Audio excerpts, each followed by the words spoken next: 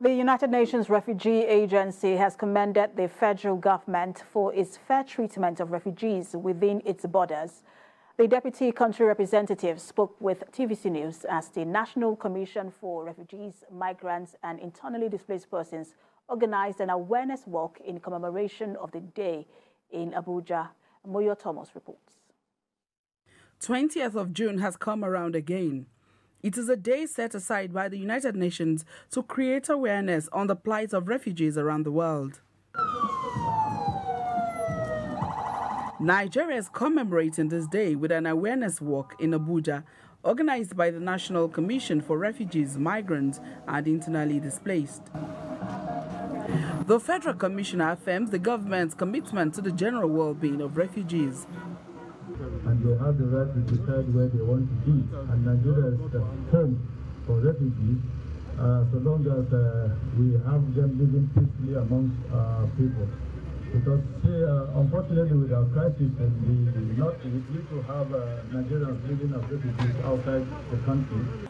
A gesture UNHCR says Nigeria is already doing. UNHCR is so grateful to the government of Nigeria for allowing refugees to live on an equal basis with nationals and have access to all the all the services.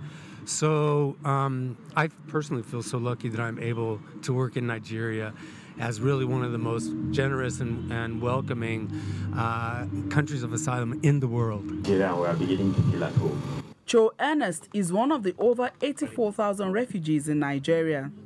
He says he fled the unrest in his home country, Cameroon, to seek refuge in Nigeria.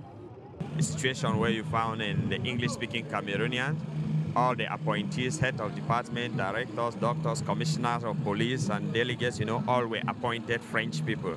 But they were in an English zone where our parents, we, some of us don't understand French. Then the judicial system the same the judge of a court is a francophone sent to handle a court in the northwest province, which is purely English.